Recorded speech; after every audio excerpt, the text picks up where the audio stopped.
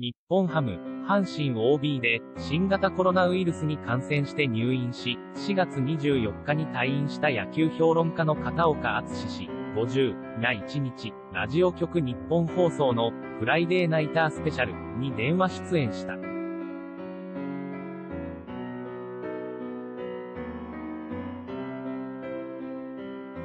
片岡氏は、人との接触を1週間から10日は自粛してくれということなので一人で生活しています。などと現状を語った写真。新型コロナウイルス感染が確認された主なスポーツ関係者片岡氏の声は闘病中に公開した YouTube とは異なり、強く張りがあり、回復を印象づけた。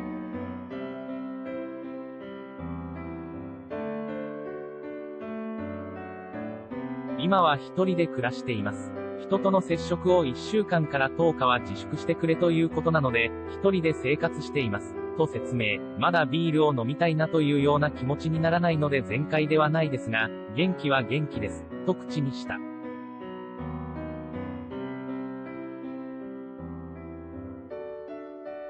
家族と再会する予定については、あと10日から2週間くらいしたら大丈夫かなと思います。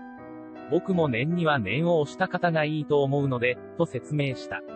タバコは吸わない片岡氏だが、闘病中は息苦しさと咳があったという。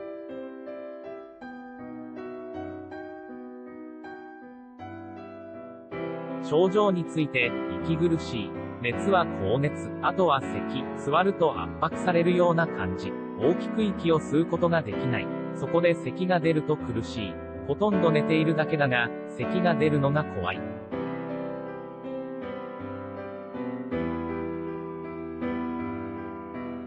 その時、入院中は食欲もなくて食事も取れない。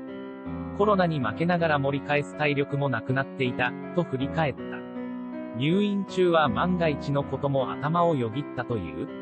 志村けんさんが死去したこともあり、このまま帰れないようなことがあれば、お骨になってからしか帰れない。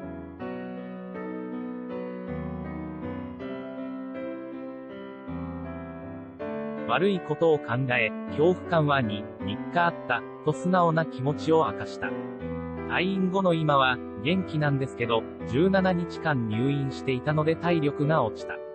こんなに歩くのがしんどかったかなと、と、体力のあるはずの元プロ野球選手でも、苦しい戦いだったことを振り返っていた。